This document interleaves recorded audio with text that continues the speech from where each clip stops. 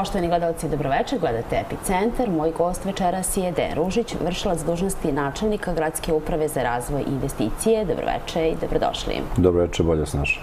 Na samom početku večerašnje emisije, ono što sve građane Kragujevca zanima i u šta e, možemo slobodno da kažemo trenutno nemaju uvid zbog ograde koja se nalazi e, okolo e, trga Vojvode Radomira Putnika, možete li da nam kažete dokle se stiglo sa radovima?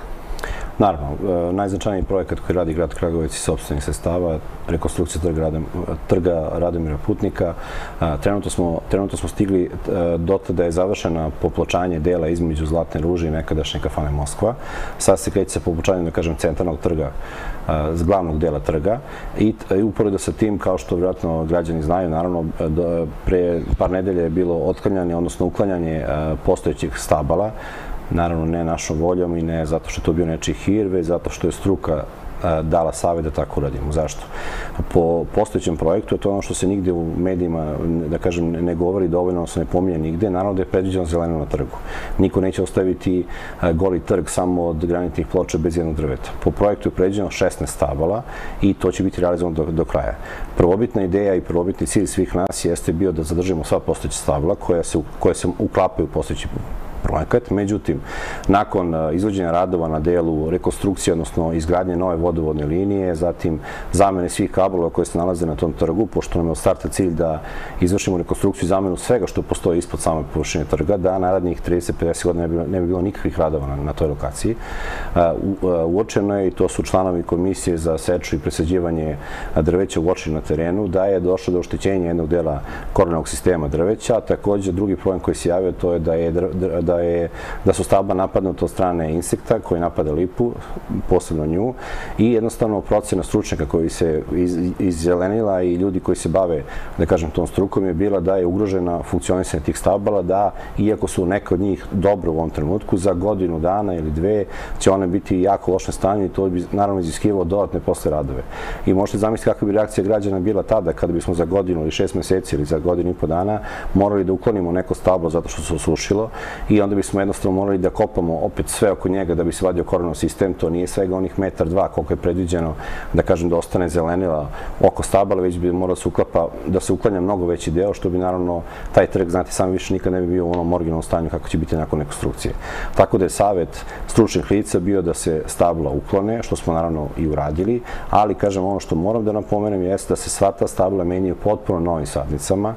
Po projektu je bilo predviđeno da to budu stabla obima 20-25 cm, međutim mi smo naravno sa članima komisije seče i presađivanja drveća doneli e, odluku da to bude mnogo veća i da kažem e, viša stabla, tako da smo doneli odluku na, na koji smo imali prošle nedelje da to budu stabla marke, odnosno marke, pardon, vrste crveni hrast, koje, da kažem, pošto je hrast, opet se nalazimo u srcu Šumadije, neka simbolika je e, postoji.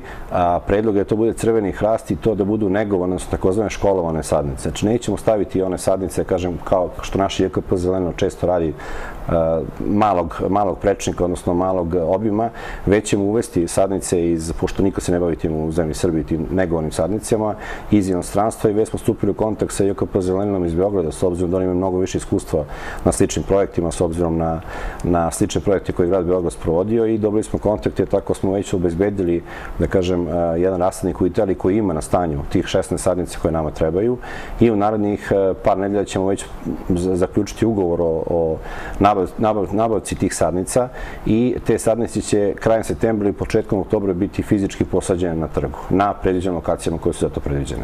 E, govorimo o sadnicama koje imaju obim od 40-45 cm, što znači sadnice koje imaju prečnik od 15 cm i to su sadnice po onim informacijama koje smo dobili iz rasadnika koji imaju visinu 7-8 metara sa već formiranom krošnjom, koje dolaze, da kažem, kotenskog tipa sa već formiranim korenovim sistemom, tako da je tu verovatnoća, e, da kažem, da se prime te sadnice preko 95%. Možete li samo da nam razjasnite na samom početku, da li je projektom bilo predviđeno potpuno uklonjenje ovih stabala, jer kažete 16 je bilo zamišljeno, ili se tokom procesa i rekonstrukcije trga uvidelo da oni nisu u onom stanju u kojem bi trebalo da budu, pa se onda odlučilo? Da li Evo ovako, od starta, od starta je znači projektom predviđeno da postoji zeleno na trgu. I tim projektom je obuhvaćeno, bilo je, e, kako se dobro sećam, trebalo da sedam onih velikih stabala ostane. E, to je bilo naš cilj od samog početka. I postoje zapisnici zvanici na sastancima koji imamo jednom nedeljno s izvođačem gde, je to lako dokazivo. Međutim, a ostalih devet pozicija treba bude popunjeno novim sadnicama. Međutim, kada smo, tada smo odmah u startu smo doveli predstavnike JKP Zelenila iz Beograda, tačnije izvršnu direktorku gospođu Šišaković, pošto JKP Zelenila iz Beograda jedino koji ima takozvanu mašinu sadišu koja služi za presađivanje stabala, pa smo hteli da ona koja se ne uklapaju sa samim projektom rekonstrukcije, u smislu fizičke, lokacije gde se nalazi, da presadimo na, drugo, na drugu lokaciju. Međutim, ta smo dobili odgovor, to fizički nije moguće, zato što taj sadiša ima neki svoj maksimum, a to je 20 ili 25 cm prečnika sadnica koju može da presadi i da takvo drvo koje ima 60-70 godina nije, nije moguće presaditi ga. Ta smo dobili savet koji nismo prvenstveno prihvatili da odmah sve sadnice uklonimo, sva stabla uklonimo. Zašto? Zato što, kaže, sama, sama e, vizualna slika trga će biti loša. Ukoliko s jedne strane imate e, stabla koje su stara 60-70 godina sa već formiranom krošom i tako dalje, preko puta imate mlade, mlada stabla, jednostavno neće biti ni simetrije, niti bilo čega. Takođe, ono što je bio, i oni su nam rekli da oni u Beogradu rade, uvek kad rade neke nove trgovske uh, platoje, da uvek rade potpuno nove sadnice, naravno sa sistemom navodnjavanja, što i mi isto ćemo raditi na, na ovoj lokaciji. A, kažem, kasnije, tokom izvođenja radova, nakon izvođenja radova u smislu zamene kablova, došlo se do toga da su, videlo se zapravo da je, da su korenov sistem da je upleten u kablove postojeću staru infrastrukturu koja se nalazi na trgu, jer to je 60 godina rastlo, naravno, u, svim smerovima. Takođe, prilikom izvođenja radova na izvođenju vodovodnih radova i ostalih, ostalih instalacija došlo je do nekog dela blaga oštećenja korenog sistema i takođe ljudi iz našeg zelenila i iz komisije za seču i presađivanje stabala su utvrdili da je da su sva staba napadnuta od strane insekta, ako se dobro sećam lipova stenica, nisam siguran, možda grešim u nazivu insekta, ali da, da definitivno postoji problem sa ugroženim funkcionisanjem zdravlja tih stabla koje se nalaze na trgu. I ta je doneta odluka da se one iseku na preporuku, ako sam vas dobro razumela, e, zelenila iz Beograda. To je stručno? Ne, ne, on, oni, su, da, oni su dali savet na početku. Mi, mi to nismo prihvatili tada. Naš stav je bio da, da zadržimo sva stabla koje možemo. Međutim, nakon toga, kažem, posle 5-6 meseci izvođenja radova, kada su ponovo a, kolege iz naših zelenila i kolege koji su članovi radnog tima, odnosno radne komisije za seču i presađivanje drveća, a, koje je formirano od strane grada Kragovice, kada su izašli na teren i utvrdili su da postoji oštećenje korenog sistema kod svih stabala i da, je, da su sva stabla napadnuta od strane insekta koji napada lipu i da je, da je funkcionisanje ugroženo tih stabala i da je verovatno, verovatno da će u narednom periodu, šest mjeseci, godinu dana, dve, da sva stabla biti biti u lošem stanju da će morati da se vade. U toj situaciji je mnogo bolje i mnogo praktičnije da to uradimo odmah sada, pre rekonstrukcije, nego nakon što završimo rekonstrukciju. Jer to bi onda značilo da moramo da, ako se neko stablo osuši i mora se ukloni, da mora da se kompletan deo, kažemo nekom prečniku od 4-5 metara oko njega podižu granite poče, sve što je urađeno prilikom rekonstrukcije, da bi se sva, sav ceo koron sistem izvadio. A šta bi se desilo sa tim stablima ako kažete da bi propali u roku od šest meseci da nismo radili trg, odnosno da se trg nije radio? Pa sad to je to, sad da ne pričam teoretski šta je bilo kad bi bilo, pitanje, pitanje da li bi ona bila oštećena u smislu tog nekog kornog sistema, ali kornog sistem nije samo oštećen prilikom izvođenja radova, već je u, kada su iskopane zbog fontane i svega ostalog što smo radili dole ispod, kad, su ispo, i, kad je urađen iskop, videlo se da je dobar deo kornog sistema isprepetan sa kablovima. Samim tim to nije dobro, znači ili će oštetiti našu kablovsku infrastrukturu daljim rastom ili će kabel oštetiti kornog sistem drveta. Tako da je, kažem, preporuka struke bila da se stavila uklon uklone i da se zamene, ali da ono što kažem na čemu insistiramo, a što nigde na portalima ne stoji, da će svako stablo biti zamenjeno novim školovanom sadnicom. Moram da istaknem što se tiče seče drveća na trgu Radomira Putnika, da je zaista, da kažem, ne smešno, već bezobrazno napadati administraciju predviđenog gradonačelnika Nikole Dašića, koja je donela prvo u Srbiji odluku da se da bude obavezno za svakog investitora koji pravi nov objekat, odnosno novu, novu zgradu sa stanovima ili sa poslovnim prostorom, da za svaki stan mora posadi novo drvo da se napada, da se nazivamo, ne znam, ubicama drveća i tako dalje, s obzirom da nijedan grad u Srbiji ne radi više na ozeljenjavanju svog grada od, od grada Kragujevca. Možete li da mi kažete koliko je objekata do sada e, po ovom osnovu dobilo novo zelenilo? Pa znate kako, sad ne radi samo o objektima. Znači, uredba je takva a, a, da, da ukoliko nema, nema mesta na, na parceli, a znajući kako investori razmišljaju da gledaju da iskoriste što veći deo parcele, da je pokriju sa, onim što im zakon nalaže, to je parkiranje, obavezna zelenilo i naravno e, najveći deo za zgradu. E, predviđena odlukom da na drugim lokacijama koje predvidi JKP Šumadija, odnosno zelenilo kao deo JKP Šumadija, da se tu izvrši sadnja. I sad ono što je, da kažem, obavezno, oni tu moraju da izvrše tu e, obavezu do dobijanja upotrebne dozvole. Tako da svi su oni sada trenutno u proceduri potpisivanja, a JKP Šumadija tako delegira lokacije na koje će biti izvođena sadnja. E, što se tiče samih radova na trgu Vojvode Radomira Butnika, rok za završetak je bio 14, čini mi se, meseci, ako se ne varam. To je negde uh, jesen, kraj godine. To je kraj godine, to je decembar ove godine. Ako bi u ovom trenutku trebalo da procenite koliko je posla završeno u procentima, koliko je radova urađeno do sada? Pa, pro, procentualno urađeno, sad, znate kako, malo je tu teško dati to u procentima. Zašto? Zato što većina radova koji su vedeni su oni koji se nalazi ispod površine platova. A to je ono što ni ja prvi, da budem iskren, nisam znao koliko je zapravo to dok nismo ušli u realizaciju tog projekta. Ja kao načelnik uprave koji sprovodi taj projekat, da kažem, tu sam neki, na neko, neki način project manager, a, sam upućen u sve radove bukvalno dnevnoj bazi. Mi imamo jednom nedeljno se, a, imamo sastanak sa a, izvođačem radova i sa nadzorom i sa svim imoci javnog uvršenja, tako da sve probleme rešavamo u hodu, a imali smo ih stotine. Od toga da pola infrastrukture koja se nalazi do ispod nije bila ucrtana kod imoci javnog uvršenja, pa do toga da nađemo neku, da kažem, dole betonsku konstrukciju za koju niko živi nije znao šta je i kako je, pa sam onda ispostaje to neko staro, stara neka šahta energetike koja se ne koristi 30 godina i tako dalje.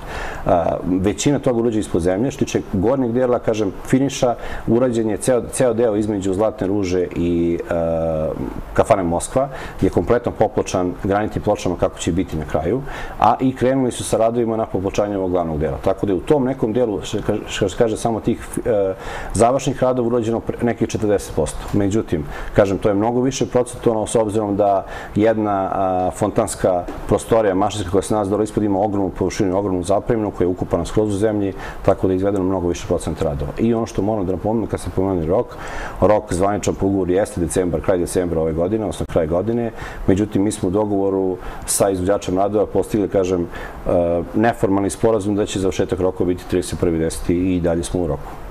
Što se tiče samog saobraćaja, kako će on biti regulisan, možda da podsjetimo gledalce, znamo da će ova raskrsnica ispred suda biti zatvorena. Da. Kako će se odvijeti i dinamički saobraćaj, a šta će biti sa stacionarnim, što se tiče pa, što parking tiče, prostora? Što se tiče, što tiče parking prostora i što se tiče kolskog saobraćaja, njega više neće biti na tom trgu.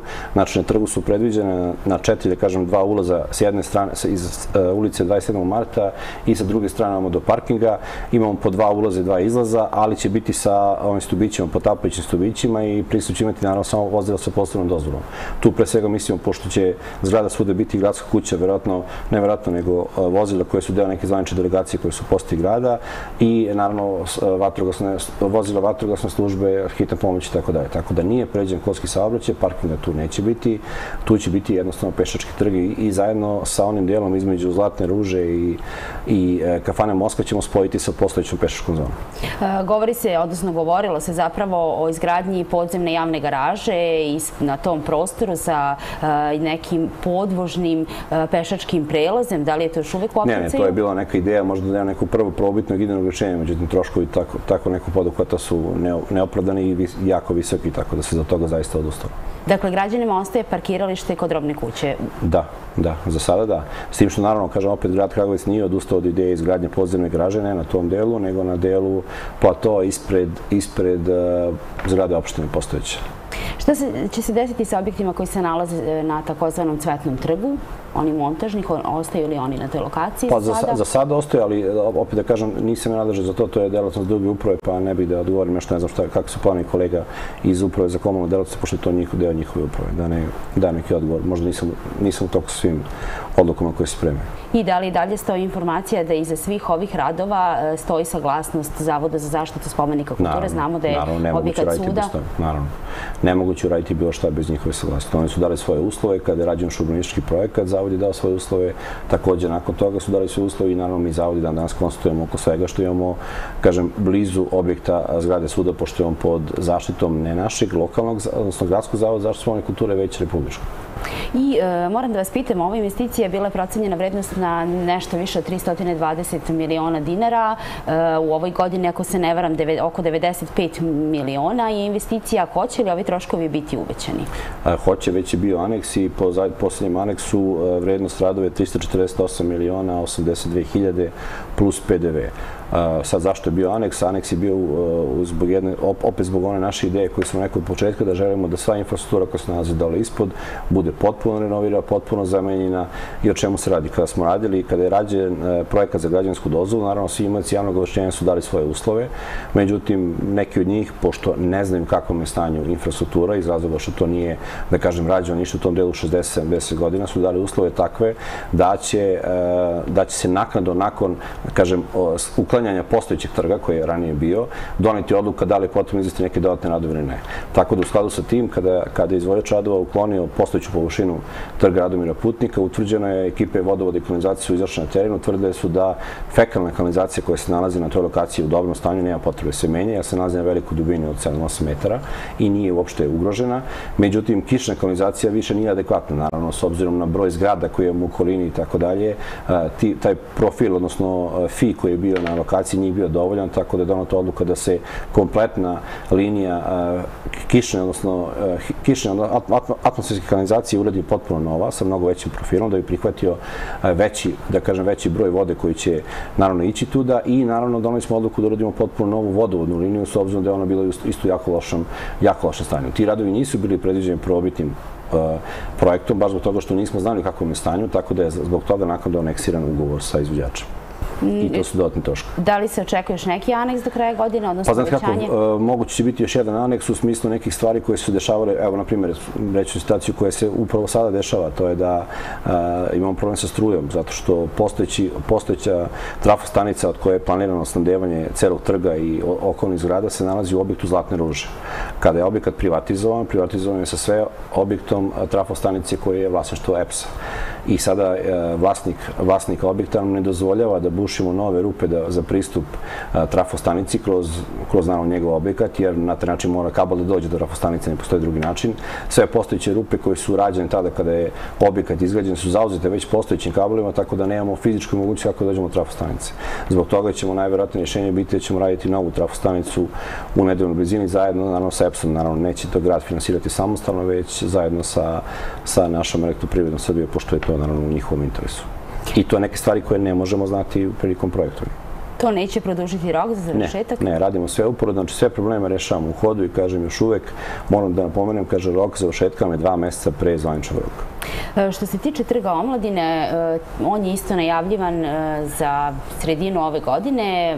Čini mi se da je bio jedan postupak javne nabavke koji je sproveden neuspešno, odnosno neuspešno. Bile su ponude, kako stoji u objašnjenju, neprihvatljive. Zbog čega? Pa zbog toga što je vrednost bila preko procenja vrednosti. Naravno, ne želimo da radimo ništa na štetu grada. Znači, ako, ako imamo projektansku vrednost koja je definisana u samom projektu, ne možemo prihvatiti zakon da dozvoljava da prihvatamo ponude koje su preko toga ali ono što je, da kažem, nova informacija za vas, nakon toga spojede nove postupke javne nabavke, imali smo tri ponuđača koje su bile u okviru procene vrednosti, tako da smo izabrali ponuđača bukvalno pre prošle nedelje potpisan ugovor strane nas kao investitora i strane izvođača radova, tako da bukvalno evo samo čekamo da nam dostaje bankarske garancije i odmah će na nekih narednih deseta dana biti uveden u posao. Tako da vrlo brzo krećemo sa radovima i konstrukcije tog trga. Vrednost radova je negde oko 11 miliona i 200 hiljada dinara bez PDV-a izvođač ima rok za završetak radova 45 radnih dana. Tako da tim ćemo zapravo dobiti jedan novi trg, mikrotrg, onda ispred Doma omladine, na kome je predviđeno da budu locirane e, biste e, našeg poznatog rock benda Smaka. To znači da bi u nekom periodu od dva meseca kompletan trg da. mogao da pa dobro, sad, znate kako, sad je teško nešto obećati u smislu ovih vremenskih prognoza, vremenskih uslova koji se menjaju iz dana u dan. Mi smo, na primjer, u junu imali 20 nešto kišnih dana kada nije moguće voditi radove, ali ukoliko naravno vreme bude kao što sada, u roku dva meseca logično se da se radovi završe na tom trgu. Ono što je planirano uh, budžetom lokalnim delimično da se sanira jeste, mislim delimično iz lokalnog budžeta jeste sanacija dimnjaka, fabričkog dimnjaka u Kneževom arsenalu. Koliko je novca u lokalnom budžetu izdvojena za ove namene? Znamo da je reč o dimnjaku koji je visok gotovo 30 metara, da je sazidan pre više od stotinu godina, da je konstatovano da se nakri, nakrivio iskosio na jednu stranu. Kada te planirate da rešite ovaj problem i pa, kako? Taj problem je opet, da kažem, e, postojeći i tu smo takođe imali jednu, e, da kažem, jedan postupak koji nije bio uspešan, ali smo nakon toga pokrenuli naravno novi postupak i dobili smo e, nekoliko ponuđača. Izabrana je firma, da kažem, zapravo konzorcijom dve firme GM Engineering iz Kragovica i LHR iz Beograda i takođe, bukvalno u narednih 10 dana će biti uvedeni u posao. Čekali smo se završe ovi festivali, odnosno Arsenal i nakon toga Vibe festival koji je završen juče ili prekjuče, nisam siguran. Uglavnom u narednih nekoliko dana će biti uvedeni u posao. Rok za ušetak je tu 60 radnih dana. S obzirom da je, e, da se razumemo, tu, tu je nemoguće vraćanje u probitni položaj. Znači, neće se on ispraviti. E, projekat koji je radio građanski fakultet u Beogradu podrazumeva samo da se on fiksira da ne dolazi do daljeg krivljena postojećeg, postojećeg dimnjaka i to je predviđeno tako što će biti e, konstrukcija 16 bušenih šipova koji imaju prečnik FI 800 ili FI, FI 800 mm, da, dužine 10 metara, nakon toga ide neka greda koja će sve njih da fiksira i da zapravo zaustavi dalje, dalje e, krivljenje tog postojećeg dimnjaka. Tako da i to očekujemo ove godine završetak kompletnih radova na sanaciji tog dimnjaka. Koliko je novca nisam razumela? Cifra, ja izvinjam se, nisam ni rekao, jeste 11,5 miliona bez PDV-a i to će biti potpuno bezbedno naravno, za taj prostor. Naravno, naravno, naravno. Znači, na taj način će se fiksirati i ono što je isto bitno, merit će se, da kažem, ugao nagiba, da se proveri da li su radovi fiksirali, odnosno da li više nema daljeg, daljeg povećanja stepena nakrivenosti, nakrivenosti dimnjaka. To je takođe predviđao projektom. Pomoću nekih specifičnih markica koje se lepe na, određenim, na određenoj visini dimnjaka i onda se na svaka tri meseca meri, meri, vrši merenja da se vidi da li, da li je on fiksiran ili si dalje krivi. E, što se tiče urbene obnove Kneževog arsenala, odnosno e, Vojno-tehničkog zavoda, dokle se tu stiglo? Ako se ne varam, prošle godine smo imali jedan međunarodni konkurs gde su izabrana e, najbolja rešenja. Od tada nije bilo previše priča u javnosti o saniranju Kneževog arsenala. Znamo da on propada i znamo da veliki problem postoji oko nerešenih imovinsko-pravnih odnosa. Baš tako, kao što ste rekli, mislim da se uzovemo kad govorimo o Knežavom arsenalu, odnosno o VTZ-u, to je problem koji nije od juče, koji je nekoliko decenija star. Znate svi da je to bio zabranjeni grad dosta dugo da nije, bilo pristup, nije bio mogući pristup građanima. Hvala Bogu, to je sada rešeno. I kao što rekli, mi smo prošle godine sproveli taj međunarodni konkurs za idejno rešenje za re, re, revitalizaciju e, celog kompleksa VTZ-a. Mi smo tada otkupili šest radova, baš zbog toga da bismo i svaku od njih mogli da iskoristimo neki najbolji deo. Znate kako, radovi su bili odlični, međutim, mnogo toga, neki delovi tih radova su prilično futuristički i nerealni za realizaciju. Osnovna, stvar na kojoj mi baziramo obnovu VTZ-a jeste samo održivost. Znači, ne treba nam da pravimo nešto što će biti opet samo trošak gradu, nismo u situaciji finanska, to možemo da finansiramo, niti to ima dugoročno, da kažem, dobru budućnost. Međutim, ono što je nama sad cilj u ovom periodu jeste upravo to da krenemo sa revitalizacijom. U kom smislu? Naprimjer, pre dve nedelje smo imali jednu radionicu gde su učestvovali, da kažem, arhitekte, urbanisti i tako dalje, gde je upravo osnova bila taj međunarodni konkurs koji je bio, pa su tu bili prisutni i tvorci prvog grada, odnosno grada. Gost nam je bio gospodin, sad stavim mi mozak kako se zove, iz Holandije, koji je radio jedan takav projekat. Ja e, zajedno sa koleginicom Dankom Andonovski, gradskom većinom za investicije, sam bio u prilici prilikom mene posete organizovan strane, od strane EU Propus da obiđem upravo taj e, deo na kome, na čiji rekultivaciji on radio. Tu se radi o bivšoj fabrici Philipsa u Eindhovenu, koja je napuštena, ne znam, početkom 90. godine zbog neke krize, Philips je prodao sve to i ceo taj kompleks koji je ogroman, negde površine ima ne, deseta hektara, ako se ne varam, je kompletno dobio novu nameru. I upravo ono na čemu mi, mi, da kažem, insistiramo, svaki deo ima svoj samoodrživi deo. Znači, to je sve rađeno uz pomoć privatnog kapitala. Znači, kroz javno-privatno partnerstva, nigde tu nije radila to, da kažem, vlada, vlada Holandije, niti lokalna samouprava i negde mi imamo slične ambicije u tom delu. Zašto? Kao što ste rekli, postoji problem s imovinom. Grad Kragovec, što se tiče imovine, ima rešeno samo jedan manji deo, a to je mašinska radionica, zgrada mašinska radionica koja se nalazi na centralnom trgu gde je i dimnjak, sama parcela gde se nalazi centralni trg i nedavno je završena, odnosno rešen problem sa imovinom štič čarovnice, tako da je to nešto na čemu smo među radili, znači nije baš da se nismo radili, pokušali smo da rešimo imovinu na čarovnici, to je upravo završeno pre par nedelja. E sad šta nam je cilj? Cilj nam je prvo, mi imamo jedan projekat baš sa EU Pro Plus, o nekom, da kažem, koji je baziran na regionalnom razvoju, da, da se, gde mi učestvujemo kao ceo region Šumadije. Znači, grad Kragove zajedno sa ostalim opštinama koji su deo Šumadije i naš koncept će biti upravo ta neka revitalizacija kulturno-istorijskog nasledđa. Tako da svaka opština daje neki svoj predlog, svako ima neku svoju istorijski značajnu lokaciju koju želi da obnovi. Naš predlog jeste upravo VTZ i naš, naš deo je da uradimo upravo obnovu tog trga. Znači, trg koji trenutno se koristi kao parking, što ste svi pretpostavljeni sigurni, želimo da ga obnovimo u, da kažem, da ga vratimo u ono postojeće stanje kako je bio kad je formiran.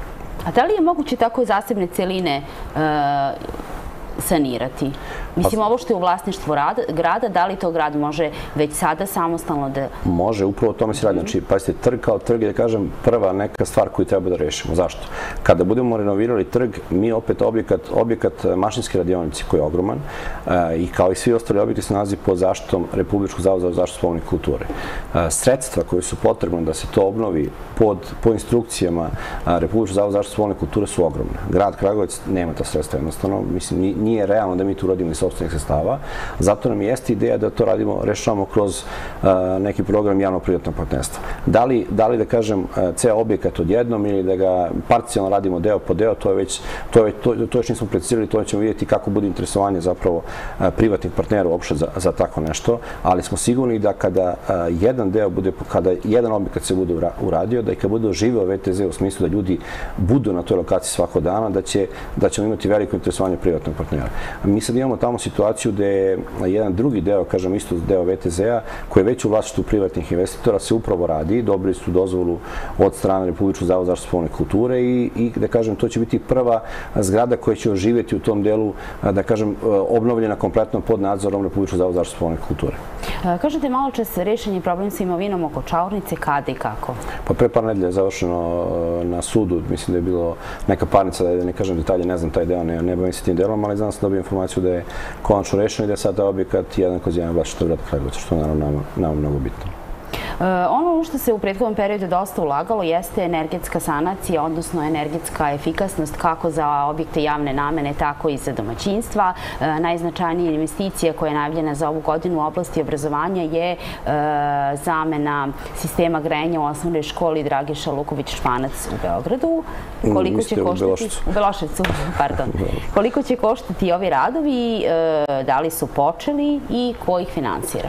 Pa znate kako, ne samo, ne samo zamena sistema grejanja, već kompletna energetska, energetska rekonstrukcija celog objekta. Znači radi se i fasada, stolarije, i zamena stolarije, da, i sistem grejanja. Radimo kompletno sve. U samom, e, prilikom samog izvođenja radova, pošto već izabran i to već naveliko se radi, tu izvođač radi Crna trava iz Leskovca, već se naveliko radi projekat, dobar deo tog projekta je već realizovan. Smo uvideli još neke dodatne probleme sa strujom koje ćemo naravno prihvatili da rešimo jer ne znači ništa da uradimo sve, da ono, kažem, elementarno u smislu struje i tako dalje, postoji ugroženost deca. Tako da sve, sve što treba radit ćemo toj zgradi. To je, da kažem, finansirano, 70% e, finansira ministarstvo, neki 29 miliona i 340 hiljada, a sredstva grada su neki 12,5 miliona, bez PDV-a. Međutim, kažem, ta sredstva će biti veća u što tiče udela grada, zato što ćemo te dodatne radove koji su prilikom izvođenja radova, da kažem, videlo se kao problem, ćemo naravno prihvatiti i mi ćemo ih finansirati.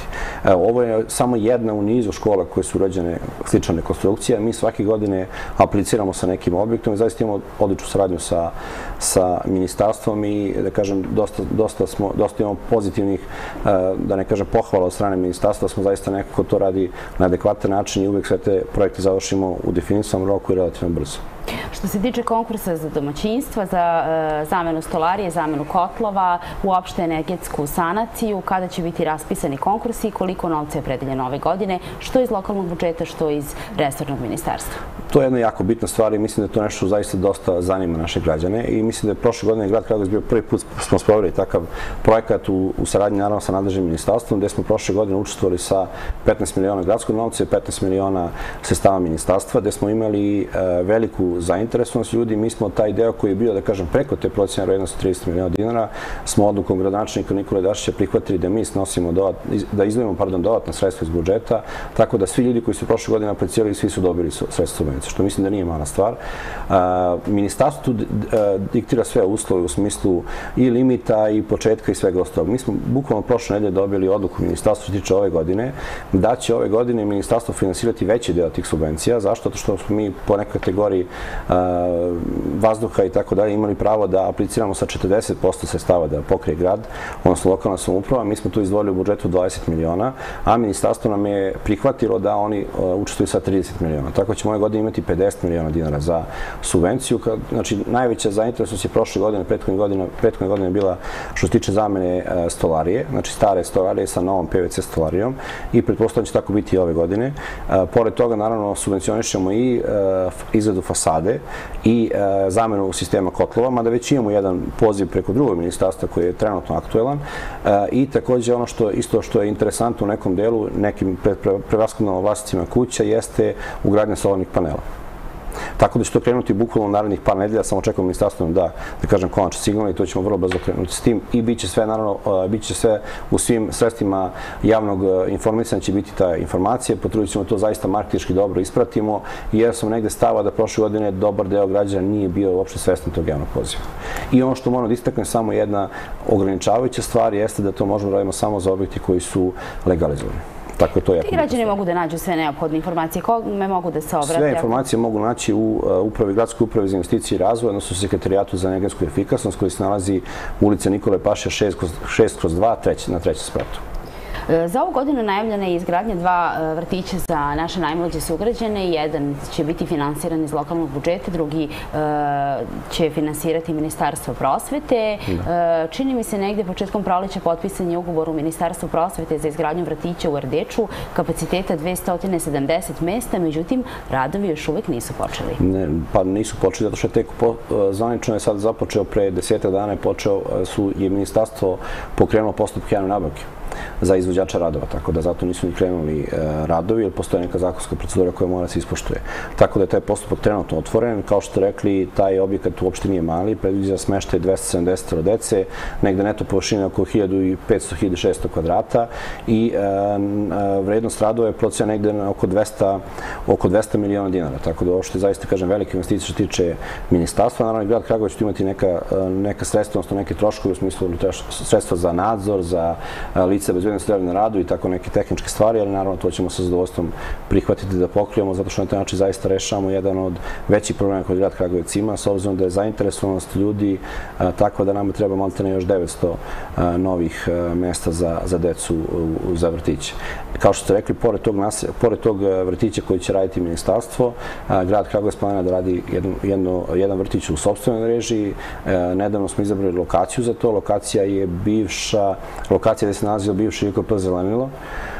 Tu smo već uradili parcelaciju, znači odvojili smo parcelu koja će biti za vrtić. Taj vrtić će se fizički nalaziti pored postojećeg vrtića koji se nalazi na susednoj parceli, što je odlično, će deca moći da koriste resurse tog vrtića u smislu svih onih sprava za igru i tako dalje. Ima dosta zelenila, tako da je lokacija dobra. A i s obzirom na veliku izgradnju koju trenutno imamo na Bubnju, da imamo ogroman broj kvadrata koji se trenutno gradi, logično ćemo u narednom periodu biti e, potreba za dodatnim brojem dece za smeštu vrtićima. Tako da ćemo taj e, vrtić, odnosno vrtić ćemo jako brzo raspisati javnu nabavku, e, ići ćemo zbog vremena da bismo što pre krenuli sa radovima, ići ćemo javnu nabavku koji će obuhvatiti i projektovanje i izvođenje. Znači, nećemo raditi kao dva odvojena postupka, samo zbog vremena i zbog čeg više. I ideja nam je da to bude neka sada ideja primarna je da to bude uh, vrtić, odnosno zgrada montažnog tipa, opet zbog brzine, da bismo što pre mogli da osposobimo kompletan vrtić i da možemo da primimo novu decu. I opet moram da vas pitam kada očekujete da počnu makar radovi, imajući u vidu te javne nabavke, tendere, e, da ne bude posle da mediji samo najavljuju događaje, a da, da posle ta procedura predugo traje i da e, mnogo vremena treba dok projekat ne krene sa neposrednom realizacijom. Znate kako, ljudi moraju da razumeju da, da zakon o javnim nabavkama je takav jeste. U smislu, mi kada spredemo javnu nabavku, koja kažem, što tiče ovog vrtića, raspisat ćemo u narednih 15-20 dana, samo da završimo interne procedure. Zakon je takav da mi, ja se nadam da će imati više ponuđača i zaista mogu da se pohvalim da na većini nabavke imamo do, veliki broj ponuđača, što jeste cilj zapravo zakon nabavkama. I sad, kada vi donosite odluku i izaberete najpovoljnije ponuđača, jednostavno zakon mu nalaže tako da ima, morate sačekati 10 dana i svaka druga strana koja nije dobila posao ima pravo žalbe. Ukoliko dođe do prava žalbe, to može da traje od mesec do 2-3 meseca dok komisija ne donese odluku i tako dalje. Tako da je malo nezahvalno, moraju da građani shvate da neke stvari ne zavisi direktno od nas. To je van ingerencije grada Kragovica. Tako da u tom smislu samo postoji eventualno problematika koja može se desiti. Inače, ovako, e, zakon je jasan, e, javna nabavka će morati biti raspisana mesec dana, nakon toga mi donosimo odluku, da kažem, u nekoliko dana kada komisija koja vodi tu javnu nabavku donese odluku, nakon toga zakon kaže 10 dana moramo sačekati da li će neko uložiti žalbu ili ne. Ukoliko niko ne uloži žalbu, odmah potpisujemo ugovor i kreće se sa realizacijom. Ali to je opet kažem, period od možda 3 meseca. Realno da, zbog toga što imamo projektovanje, to je jako bitna stvar. Znači, ne, ne, ne radimo izbor samo izvođača na već gotovom projektu, projekat nemamo. Imamo samo naravno idemo rešenje u smislu šta planiramo i šta nam treba. Postoji pravilnik tačno kako je definisano kvadratura i sve shodno broju dece. Taj vrtić je planiran za 120, za 120 mališana, tako da shodno tome se tačno pravilnik ukazuje koliko mora kvadrata da ima i sve ostalo, tako da tek nakon što se uradi projekat, dobije se građanska dozvola, tek onda može konkretno se krene sa realizacijom, odnosno sa radovima na terenu gde će građani moći da vide da se nešto zaista radi.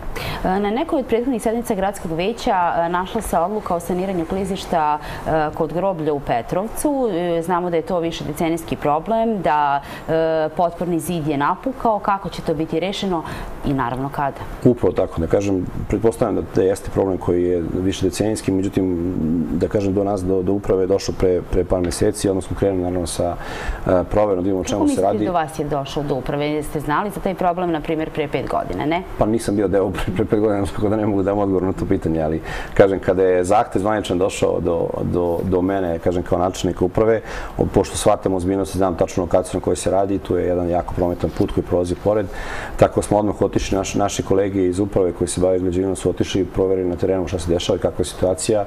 Dobili smo izveštaj da moramo da pristupimo, da kažem, izradi geomehaničkog elaborata, izradi projekta sanacije koje opet zakon nalaže. Tako smo shodno tome odmah raspisali javnu nabavku. Javna nabavka je završena, to je postupak javne nabavke je završen 12.7. Znači pre par dana. Za elaborat ili za sve? Za elaborat i za izradu projekta. Znači tek nakon što dobijemo projekat, tek onda idemo novi, novu javnu nabavku za izvođača. Malo je nezahvalno kod nekih stvari je malo teško raditi jedno i drugo, zato što onda posle ulazimo neki problem realizacije, tako da smo ovde su odlučili da radimo jedno i drugo, jer je geomehanika obično nešto rade posebno profilisana preduzeća koje se ne bave posle izgradnjom tih radova.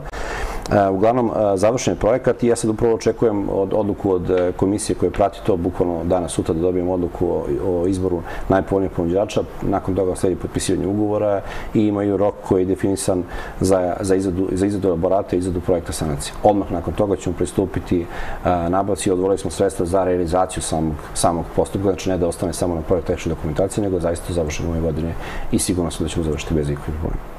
Šta se dešava sa klizištem na Pivarskom parku? Kod Pivarski park opet nešto što, da kažem, dosta dugo stoji. Konačno, mislim, konačno pre nekih 7-8 e, meseci, možda već sad i godinu dana, smo ušli u realizaciju tog problema. Opet slična, slična problematika kao što je gore, pošto gde god je klizište, negde procedura je slična. Gradska uprava je izradila projekt tečnu dokumentaciju i pribavili smo rešenje kojim se dobro izvođenje radova na sanaciji klizišta i izgradnji potpunog zida koji je u dužini nekih 36 metara, visine oko 4 metra, gde ćemo konačno rešiti, rešiti e, problem koji se nalazi na, na toj lokaciji već dugi niz godina. E, da kažem, mi smo tu zaista imali dobru saradnju i sa ljudima koji žive u, u okolini Pilarskog parka, njima je to jako bitno da se reši zbog dece sve ostalo. Da, pitanje koliko to igralište je bilo bezbedno, park zapravo za igranje? Pa pitanje, zaista, da kažem, on je zvanično, kako ja znam, i bio zatvoren, jedan deo se obruši i tako da je, nije bio pametno koristiti ga, ali kažem, sada ćemo konačno to rešiti i naravno ideja da kada izvedemo radove na izgradnji potpunog zida, da se odmah nakon toga izvrši rekonstrukcija postojećih terena. Tako Tako da evo sada bukvalno mi smo imali rebalans pre uh, 15 dana i sada smo izmenili plan javnih nabavki gde smo ubacili tu stavku, tako da čim prođemo našu internet proceduru u smislu sada s nesmanatim proceduralnim stvarima uh, dobijanje saglasnosti strane preobranjaca, financija, da smo imamo bezbeđene sredstva, mi ćemo pokrenuti javnu nabavku u narednih 10 dana i nakon toga ćemo pristupiti izradi radova, tako će ti radovi biti izvedeni sigurno ove godine.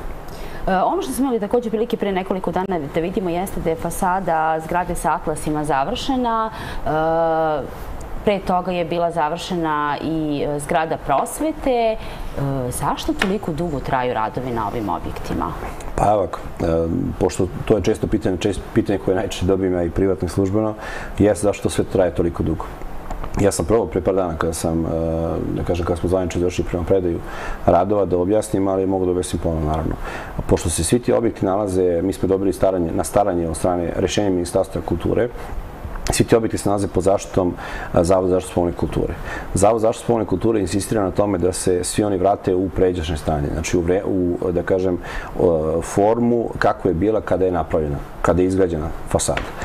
Od toga pitanja, vidio sam par puta neke komentare negativne na izbor boje i svega ostalog. Znači, boju ne biramo mi kao investitor, boju bira upravo zavod.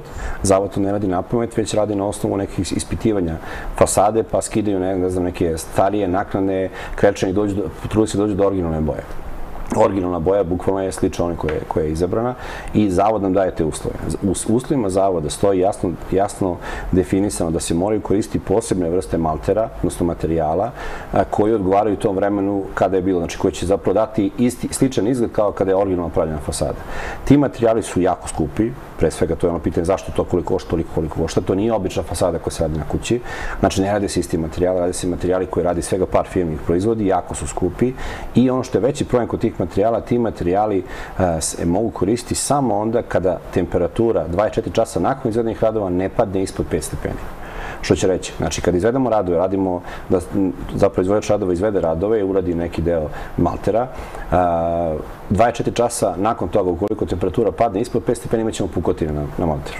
Što naravno nije, nije cilj i ne možemo da odobrimo. Tako da kad god temperatura padne, da li toko dana, tokom noći ispod 5 stepeni, radovi su obustavljeni, ne može se izvode radove. Kod konkretno ove zgrade je bilo više problema. Prvi osnovni problem koji smo uočili bukvalno 5 dana nakon uvođenja u rad izvođača radova jeste problem bio problem sa strujom. Zašto? Cijelom uh, trasom, da kažem, bočnom stranom fasade su bili uh, razvučeni kablovi. I to splet kablova koji su neki bili sa golim žicama, to je sve staro bilo poprilično dugo. Kada je li, lice za bezbednost i radne rade kog grad angažuje zbog sigurnosti svih ljudi koji učestvuju u tom projektu, izašao na sam teren, isto trenutka me je poziv rekao mora hitno da se zatvori, ugrožena je bezbednost i zdravlje ljudi. Naravno, nemamo, drugu, drugu alternativu nego da isto trenutka zatvorimo gradilište, što smo učinili. Nakon toga sledili sastanci sa EPS-om da vidimo kako ćemo da rešimo problem, pošto se tim kabelima snabdeo dobar deo, ne samo taj objekat, nego dobar deo susednih objekata. Pa smo onda probali jedno rešenje, da to nekako privremeno rešimo, da ostanu kablovi kako jesu, da ih bolje zaštitimo. Međutim, nakon izvedenih tih radova, lice izašli i ponovo utvrde da nisu bezbedni, nije dozvolilo otvaranje gradilišta, čim se ja naravno apsolutno slažem. Pa smo nakon toga doneli konačnu odluku da moramo da izmestimo sve te kablove na vrh zgrade, odnosno kroz zgrade. To je opet iziskivalo dodatne radove, sve to vreme je zatvoreno gradište, nije bilo izvođenja radova, tako smo imali pauzu neki 3-4 meseca prošle godine. Od datum kad je otvoren, zvanično započet sa radovima, posle par dana je zatvoreno gradište i tek po 4-4 meseca kada je EBS završio sa te radove, smo nastavili sa radovima. Nakon toga, kažem, ulazimo u problem sa, sa vremenskim uslovima, u smislu da kada temperatura padne ispod 5 stepeni, nema radova na fasadama. I još jedan problem bio kod ove zgrade po projektu, po ponudi koje nam izvođač radova dao, na osnovu, kažem, vizualnog uh, obilaska objekta pre, same, pre samog ulaska u posao, uh, predviđeno je bilo neki 40% obijanja maltera. Da, će toliko, da je toliko maltera loše, loše da ne može da se uh, sredi, nek sanira, nego da mora da se obje sredi kompletno novo. Na kraju, kada su krenuli sa obijanjem i tako dalje, ispostavio se da je mnogo loša situacija i zapravo 90% maltera je rađeno kompletno novo, što naravno iziskuje više vremena i tako dalje. Tako Moram da, da vas pitam, sigurno sam da ste videli e, i to pitanje, zbog čega bočni deo te zgrade nije saniran, nego je ostao onako jest. kakav jeste? Bočni deo jeste bio deo projekta sanacije te, te zgrade i bio je deo, kažem, prvenstveno premera, predmera i predračuna, međutim, i naravno bio je cilj da se on uradi. Međutim, šta je bio problem? Opet smo tu našli dva problema. E, samo zbog bezbednosti izvođenja radova nije urađen. Zašto? Ispod tog bočnog dela se nalazi privatni objekat koji nije vaš grad grada Kragovica, koji ima svoju krovnu konstrukciju iznad njega. Tako da nije moguće postaviti fasadu za izvođenje radova. Izvođač radova je pokušao da dovede alpiniste, koji se inače spuštaju se, kažem, sa gornjeg delom sa krova, međutim, niko od njih nije to da prihvati upravo zbog isto tako postojanja ogromnog broja kablova koje se nalaze na tom bočnom zidu. A taj bočni zid, preko njega, nažalost, ono što informacija koju sam dobio od EPS-a, gotovo 80% objekata koje se nalaze iza toga snabdeva odatle.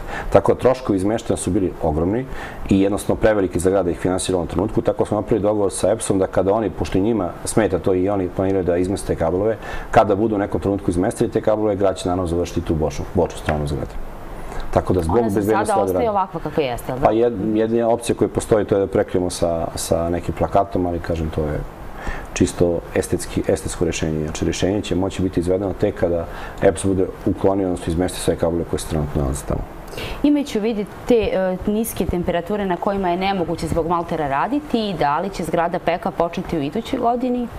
Zgrada Peka će, neće, neće krenuti ove godine sigurno. Zašto? Tu imamo drugi problem. Tu imamo jedan problem. Pre nego što krenemo sa radovima, mi moramo dobiti saglasnost Skupštine stanara, naravno u skladu sa zakonom. A, tu imamo problem što imamo tri stanara, jedan od njih je, nažalost, preminuo pre nekog vremena, dok se ne završi ostavinski postupak, ne možemo formirati Skupštinu stanara.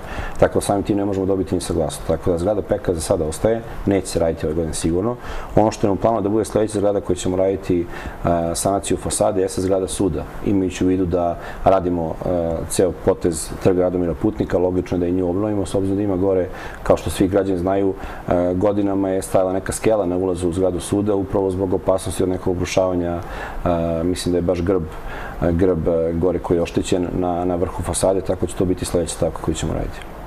E, ti radovi su bliski ili nisu bliski? Znamo da je e, ministar za državnu upravu i lokalnu samoupravu najavio pomoć kada je u pitanju e, rekonstrukcije i sanacije zgrade suda. Da, tu očekujemo pomoć i na državnom ministarstvu, naravno u skladu sa običanjem ministra. Mi svako planiramo to da započnemo već u narednih nedelju dana da raspišemo javnu nabavku. Opet kažem, nakon rebalansa, kad smo presložili sredstva i kad smo videli da problem sa pekom neće biti rešen u nekom kratkom roku, tada smo doneli odluku da sledeća zgrada bude zgrada suda.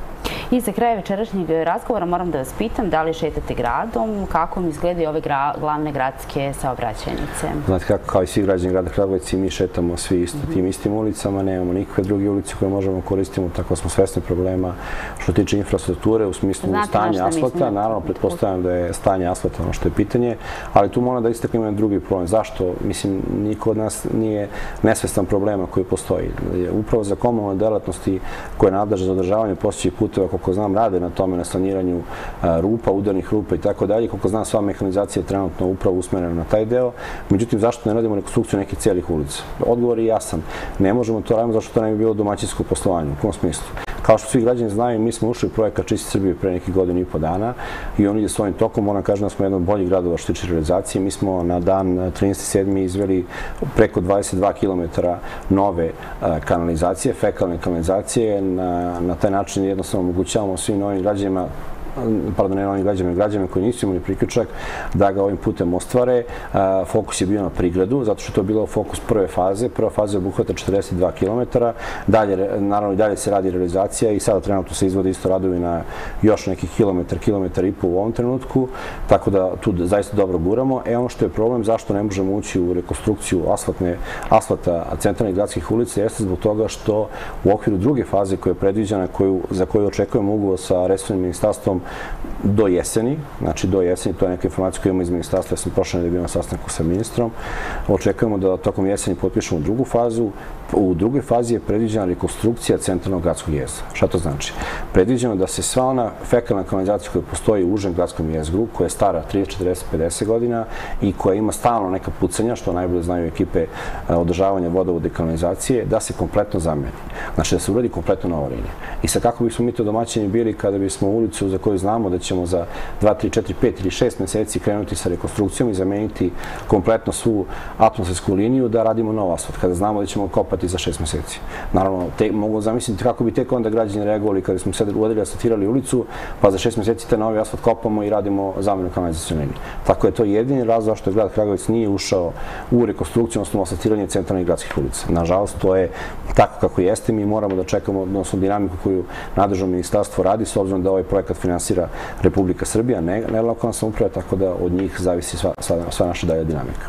Da li je u trenutku poznato koje će se prvo ulice raditi ovde u najužem centru grada? Pa postoje, pošto mi upravo da ne bismo gubili naravno vreme kada bude potpisan ugovor sa Resornim ministarstvom za drugu fazu, već se upravo radi projektovanje za te ulice što se tiče rekonstrukcije i već radimo na dobijanju odgovarajućih rešenja, odnosno dozvola za izvođenje radova. One koji su sad u prve u planu, to su Lodin Ribara, Karadžorđeva, Vojvode Putnika, tako da kažem, kao što rekao, centralno gradsko jezgro. Znači, bukvalno, to su glavne ulice gde sve mi koristimo na dnevnoj bazi, sve su one obuhvaćene projektom Čiste Srbije u okviru druge faze za rekonstrukciju. To je jedin raz zašto, zašto ih sad, do sada nismo asistirali, što ne znači da nećemo odmah nakon završetka svih tih radova.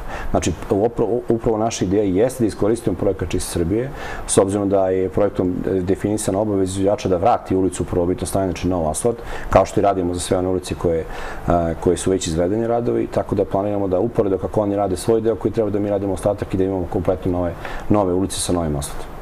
Kako će izgledati saobraćaj u tom periodu rekonstrukcije? Pa bit će otežan, naravno, kao i svaki put kada se rade radovi u centralnim gradskim ulicama, ali to je problem koji nije problem grada Kragovica, već svakog grada koji ima takve projekte. Dobro. Hvala vam na večerašnjem razgovoru. Hvala vam. Vama, poštovani gledalci, hvala na pažnji. Ostanite uz program televizije Kragujevac. Prijetno večer.